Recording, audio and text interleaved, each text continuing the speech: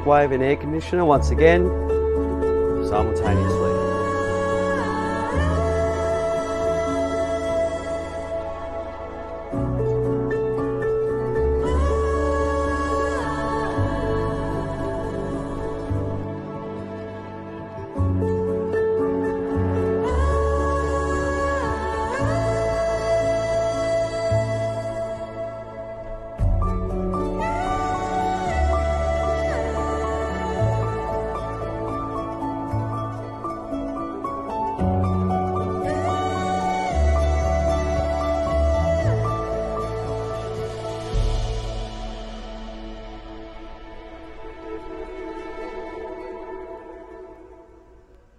Welcome to another off-grid lithium setup, quite literally. This one in a Lotus off-grid 23 footer. I don't know where to begin. Um, it's huge, this one is nuts. We've managed to squeeze so much solar on the roof of this 23 foot Lotus. Um, you guys are gonna freak out. It's huge. I freaked out when I when I was measuring it up, and me and Riley are working out what we could and couldn't do on it. So this one has very minimal shading issues on the roof. As far as roof space concerned, I'm able to squeeze a lot on this. Now we've used three Victron solar controllers. So just to give you guys a little bit of a teaser, two of them are the 50 amp model and the other is the 30. So I've got three separate solar systems on the roof of this running simultaneously networked together. This thing is absolutely a beast and I'm going to call it the beast because that's what it is. This thing has so much replenishment power, it isn't funny. 50 from the vehicle, this thing will pump in well over 100 from the sun. Easy. That is like so much power, it's enough to keep up with the air conditioner, run the air conditioner at the same time, run as many devices you want. These guys are seriously not going to run out of power anytime soon. They've got so much power to be able to put in, it's, it's crazy, and use. Battery capacity on this one too is absolute next level. Over 12 kilowatt hours, so that's three of Paul's Mercuries. Now, these are the Mercury 330s. He discharges and fully charges his batteries upon his testing, and he was able to squeeze about 340, actually over 340 out of each of these batteries. So that's like 1,020 amp hours, guys. That's huge. This system is like, these guys will never run out of power. This is a 12 volt compressor fridge. They can leave that on indefinitely. Like, there's so much power in this thing, you don't have to worry about power at all. There are three solar controllers, like I said, all in unison, all tied in together. And we've also gone for a different monitoring system on this. And the reasons behind it um, are a little bit different than most. This van came with an inverter. It was a 3000 watt Redarc inverter, a great quality product, and they've proven themselves over time. So instead of going to another brand of inverter and redoing the whole system, we have just obviously rewired it so it functions properly. And we're using that, but the monitoring side of things needed to be done secondary. And old mate wanted to monitor each of his solar arrays individually, as well as his um, 12 volts separately. So we've gone for the Simarine uh, Pico screen, which is a really good screen. It's on all of your EnerDrive stuff. Um, really good stuff there. I've personally got one and I love it. Really easy to program. You've got individual shunts for each item that you wish, and you can program it.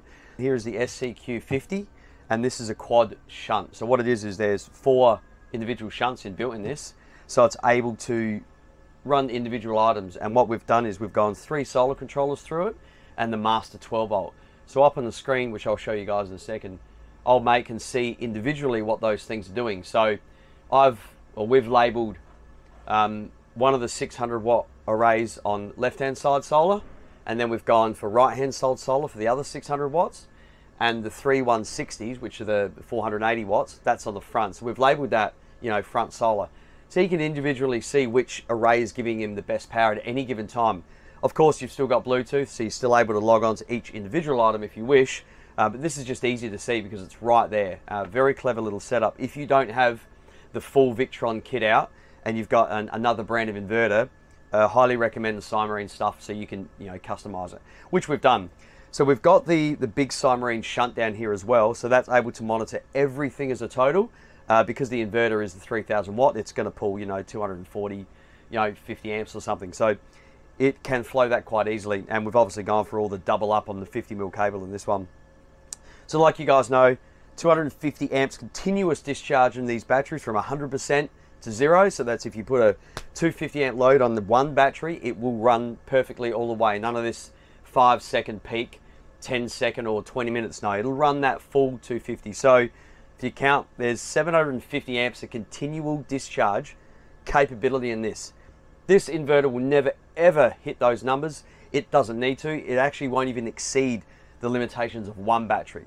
And that is why I always push for these batteries because of that ability for one battery to run the system for any unknown reason. If, if, a, if a battery fails, if you're out in the bush and you over discharge one and you know one shuts off, the rest of the other battery can actually take the load of that inverter at full song. So there we have it, guys. Now this um, this setup had the batteries, so I had two AGM batteries behind the wheel, um, and you know it's 70 odd kilos behind the wheel. Obviously, it's been relocated to this spot now, so it's a lot better balance because the wheel arch is right here, so it's a better distribution of weight there. The inverter on this one was originally fitted here, then he got it sorted out because it was too far away from the batteries. It got relocated to over there. Um, we're going, going to keep it there because it's only actually about 1.2, just over a meter away from the batteries. We've spun it around and brought it closer. So the main positive is here and here on the M batteries, and it runs straight through to that sort of location there, right next to this fridge.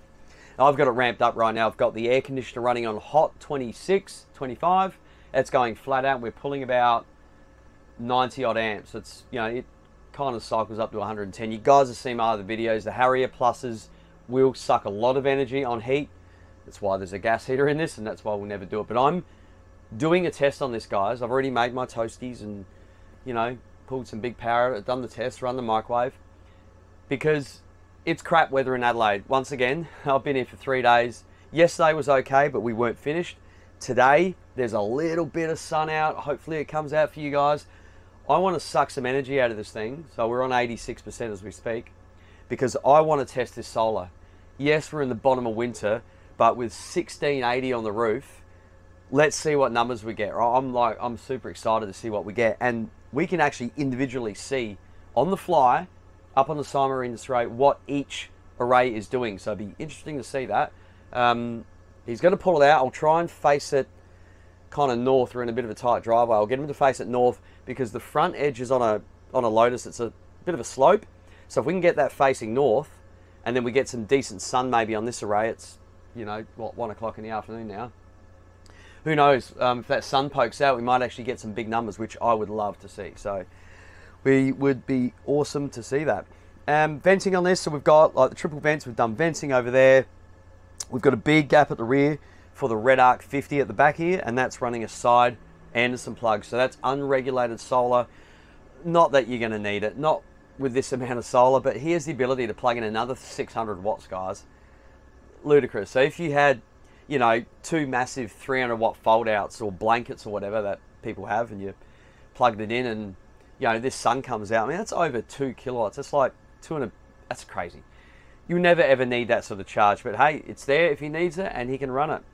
So essentially, if this was all electric, you would be happy days with this setup. This is actually bigger than most um, sort of systems you can buy off the shelf that comes out, and that's why we do these. This is customized, guys, completely made for this customer, for his needs, at his request. We originally only quoted him on about 800 to 1,000, um, and I was super wrapped that I was able to fit the larger panels on the front section and move to another um, another panel at the rear. It did come with three 170 Voltec panels, which were a great panel, um, but where they were, um, if I would have to tie them into one regulator, and then I could only add another 600 on top of that, and then my 480. The numbers were nowhere near what we've got now. This is at its max. I cannot squeeze another inch of solar on the roof of this. Um, it's it's huge. I can't keep going on about it. I'm just I want to test this thing. I'm like super excited. Get this thing out of the shed, pull it out. We'll see what it can do. We're an 86% still. Um, I might try and draw this down to about 80 before we get it out there. And we'll see how fast we can pull this pull this 20% back into the battery. Uh, see what we get from the sun. Old mate's um, vehicle, I've already checked it. and he's um, this is another thing about being on site that I can do. I always look at the vehicle's Anderson system, especially because of the Redarc 50 that's in this. It has the potential to draw well over that on the input. So if you've got an existing Anderson plug in the back of your vehicle, I'll always make sure it's on number one, it is on thick cable, like 6BS minimum, absolute minimum. Short as run as possible, MIDI fuse to suit the cable, and uh, a direct line. But also, more importantly, where it comes from. If you guys have a secondary battery system, right, in your vehicle, and you are pulling that Anderson plug from the aux battery in the vehicle, and the Anderson plug is running a DC charger, your aux battery in your car will be dead flat. That's even if this kicks in. The Redarc 50 needs a higher voltage to kick in. You guys already know it. Look up the specs. It'll rise up. I think it's 13.3. Turns on. Happy days. And then it shuts off at about 12.7, 12.8. Don't quote me exactly. It's the, the turn on voltage is higher and then the turn off voltage is sort of that 12.6, 12.7. So when that DC charger turns off, right, it's only going to turn off under load. So that would be thin cable in the vehicle and or that line, that Anderson plug in your vehicle is coming from the aux battery. And what's worse, if you've got an aux battery in your car that's getting charged from a, I don't know, a Redarc 25 amp DC charger, so you're pumping 25 into that battery, and then the Anderson plug on your back of your car's coming from that. Now you've got a 50. Well, you see the problem. You're going to be trying to pull all this power from an Anderson plug that's attached to a battery that's only receiving 25. It's going to suck it dry.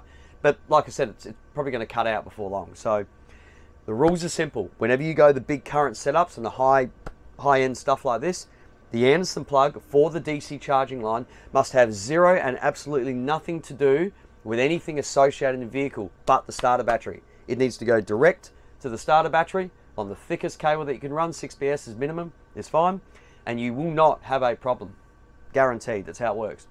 Obviously, if you start going, you know, one, two, or three DC charges, depending on your alternator, you load it up too much, well, that's a whole new set of um, dramas there. But generally speaking, a 50 amp DC charger from an Anderson plug installed correctly off of a starter battery in a vehicle is fine. We don't have a problem with the ways we do it, and when we do do it, they always work fine. So this one has 8BS, all right, and I know straight away that if I plug it in, it'll turn on, but then as that load increases and the amperage increases, the voltage is going to fall real quick, and that'll shut down, all right, which is what we're going to test out the front. Hopefully I can get that on camera for you guys. So this, um, this inverter was wired up uh, actually correctly.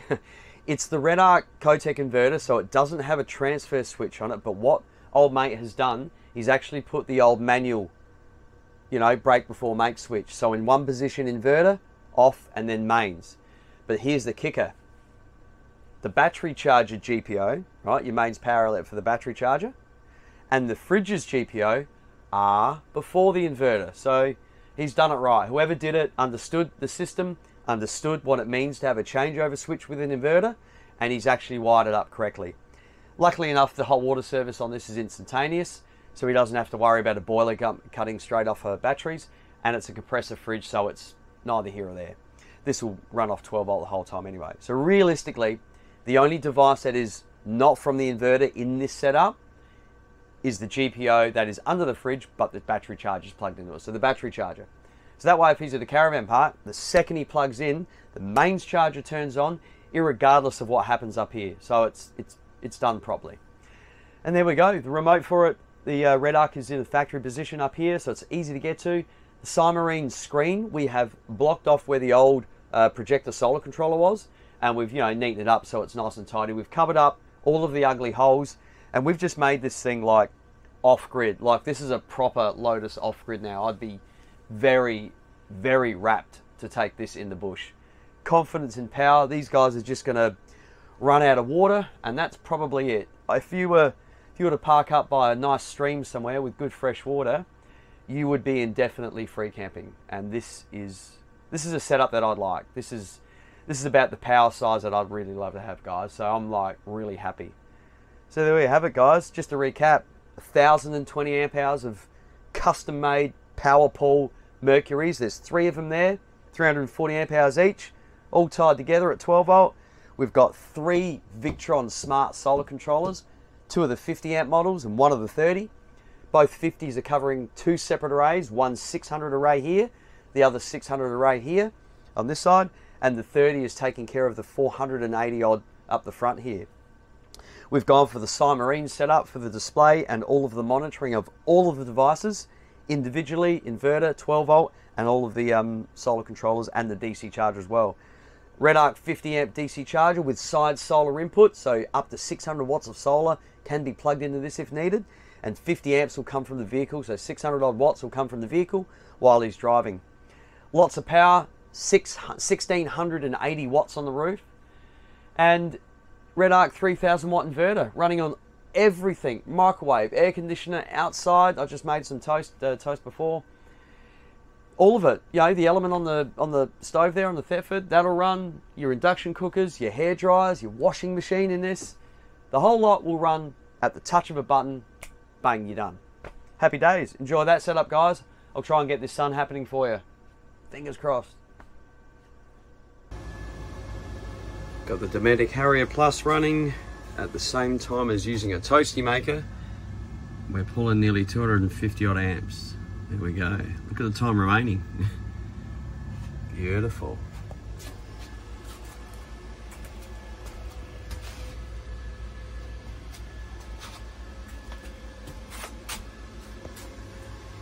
So I got that running and a couple of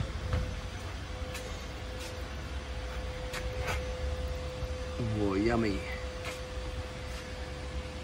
Cheese and Vegemite.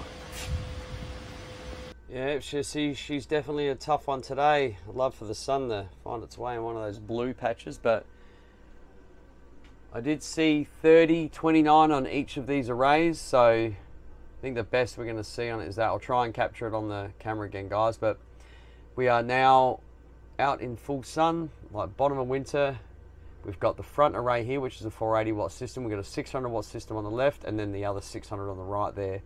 Now they're running through individual shunts there. As you can see, you can see what's happening on each shunt. The main here is the total. The coloring is very simple with the Simarine setup. Blue is charged, so that, that's above, all right? And anything yellow, that's power taking out.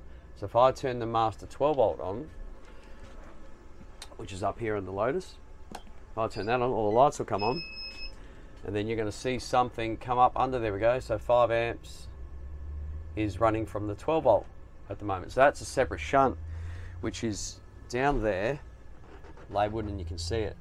So each of these is monitoring an individual circuit. So we've got main 12 volt a solar 600 a solar 600 and a solar 480 and then all of the other circuits are down there. They're all sort of through a master 12 volt um, as one. And at least I'll make can monitor anything that's happening. It's very simple to see what's going on with this. So the main shunt takes care of everything that can't go through because this is only a four channel shunt. You can add more with these if you want, but you know, it makes it pretty small on the screen, but I'll make just one of this setup so it's very simple. So see how this is on the cusp? See the color flickering there? So That's ramped up. How crazy is that? Oh, there we go. Look at the 26. Look at the solar, guys. The sun's coming out. Whoa. You add those three numbers together. All right. So what's our total? Network total on the Victron app. That's over a thousand. Oh, not bad in winter. You got to be happy with that. So I've just logged onto the front one here, guys. So, but because they're networked together, as you can see, this number. Try to keep the glare away. Where is it? There, that number there. See, over a thousand watts coming from the system on the roof now in winter.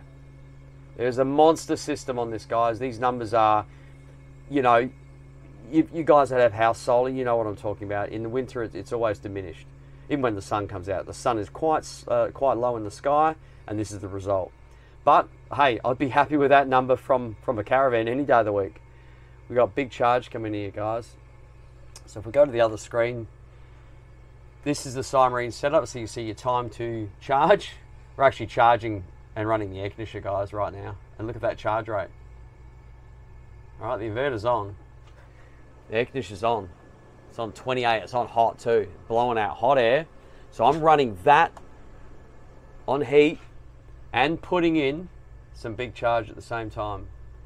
Very happy. So it's it's a very straightforward setup um, with the Simarine. So this is what you've used and what's remaining. Okay, see there's your percentage there, and there's your amp hours remaining. So if you program it up correctly, um, this is what's going to be shown. And you can go through all the settings so you can see everything, your, your time. We've got temperature on this as well. You got your barometer, so we got your temperature. That's for the case down there with the uh, with the cooling. So that's a, we're able to see the temperature in that case. Pretty straightforward with what to uh, expect here, but still got a little bit of programming to do on it yet. Um, I thought I'd just do this video while we were with a little bit of blue sky around, dappled light, overcastish. You know, I just wanted to be out here with more of a chance to grab it, and we were able to do that. So I'm really happy to be able to see these numbers, especially in winter, guys very happy. So over a thousand, we cracked a thousand. I'm happy with that. Very stoked with this setup. And you're not going to run these on heat. That's why this thing's got a gas heater. But I'm always doing the examples for you guys to show you what things draw from my systems and what they can do and how it works. So there we go. We'll shut that down and might stay out here for a little bit and see what percentage we can get this up to. I'll take some snappies and see how far we get with it. But I'm really happy with this thing. This is an absolute beast. Oh yeah, forgot about the inverters. This is already fitted and this was actually done right. You guys see my other videos where I speak about them doing it wrong. So you got mains and inverter, so the two-way switch. So obviously left when you're on mains power. Doesn't matter if the inverter's left on because it's a break before make and nothing will come through. And the GPO for the uh, down there, which is the one running the fridge, and the mains charger is before the inverter. So even so as soon as we flick it over to there, the main charger comes through. Whereas right now, if you were to put mains into the side, like plug it in, nothing will happen. It, it's it's perfect. It's that magic infinite loop of power that disappears won't happen. So this inverter is wired correctly, guys. Very happy with how, whoever wired this up. They did a good job. Sun's come back out for a little bit. Ah, it's disappeared again. Was just over 32 on each of these. Hopefully it comes out again. I'll keep filming. I'll keep rolling. And just put the air conditioner back on. On heat. It'll pump up to like 100, which it's running at now. So like I said you guys, the orange is pulling power. So that's what you're pulling from the batteries as a total. That's the 12 volt. And this is all the charge rates coming in. We get 9, 10 watts of solar total, 900.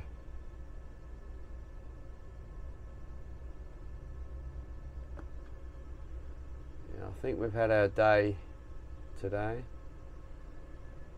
But hey, these are big numbers, guys. Like, look at this. You'd be you'd be happy getting these numbers in winter any day of the week. That's stupendous. 890 solar, that's about right. I think we've got it. So it can be a bit bit tedious to set up at begin with, especially if you've got multiple shunts. But once you get it set up, that's happy day. So you can see the main 12 volt channel is pulling power, hence the color. The main shunt is now, we are now putting in power. All right, see the color? All right, so it's blue. So we are putting in, that's the charge rate going in. So if you were to add that up, add that up, add that up, minus that, will give you that number. Now we're all good. If we go back to the main screen, the one that I like to see, which is that one. We'll go, so we're free cam, we'll turn the inverter on, wait for the beep, and that current will drop.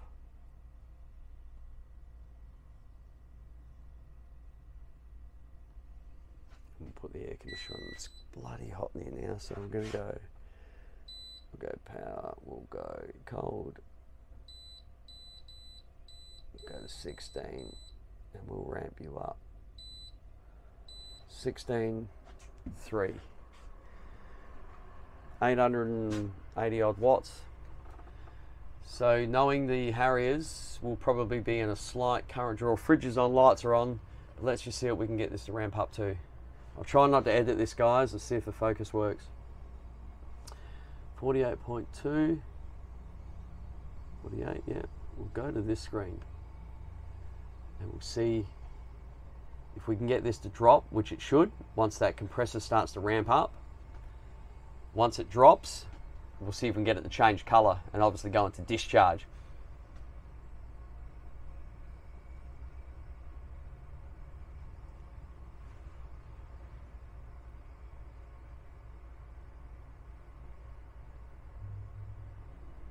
There it is, that just kicked in. So take notice of that, that bottom number started to drop. As this ramps up, it should drop even further.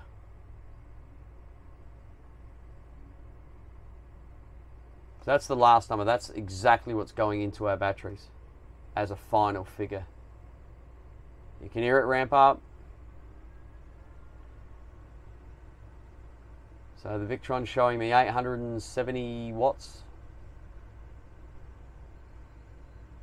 That's why I keep saying to you guys, these are more efficient on cooling than they are on heat, of course. So we're producing 800 and 870, 870 odd watts. Fridge is on, everything's running. We are charging while running that on flat out 16 at the moment. This is still blue.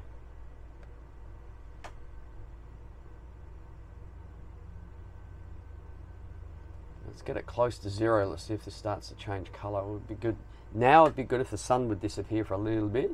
Still, it's not full sun, but it's you know like low cloud. She's definitely blowing cold air. Yeah. All right. Cool bananas still going. Oh, there we go. Getting close to it now. We'll see if we can get this to change over to uh, discharge, and then it's going to log time remaining.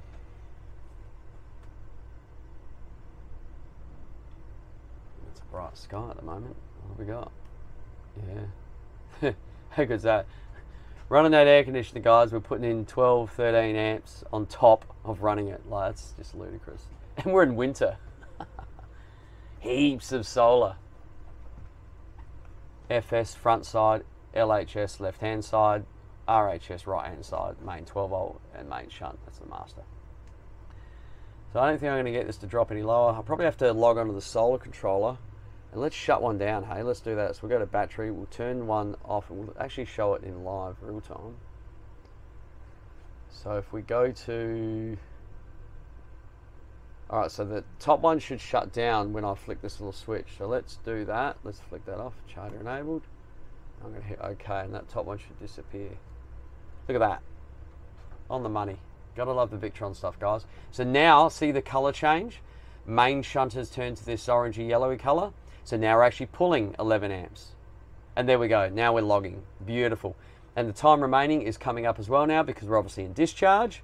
Voltage is right there. This is the remaining amp hours remaining. Um, it would have been about 80%, guys. Um, I've done a manual reset to 100, but that's neither here or there. It's not important right now. That will get calibrated once these batteries fully charge again. But now we'll um, we'll turn this back on. So charger enabled, and we'll see that jump back up once the tracker comes back in. Let's go back to the other screen and watch it. There it is. It instantly cut back in. We'll try and turn one of these off. Uh, so I'll log out, log on to LHS or RHS. Shut down that one. Alright, charger disabled.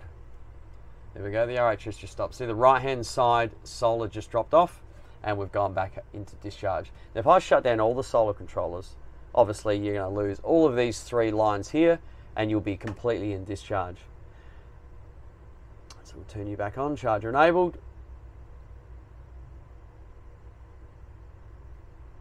And there we go, the tracker is tracking and that will ramp itself back up once it finds its happy voltage and there it is. Beautiful. Happy days guys, enjoy that setup.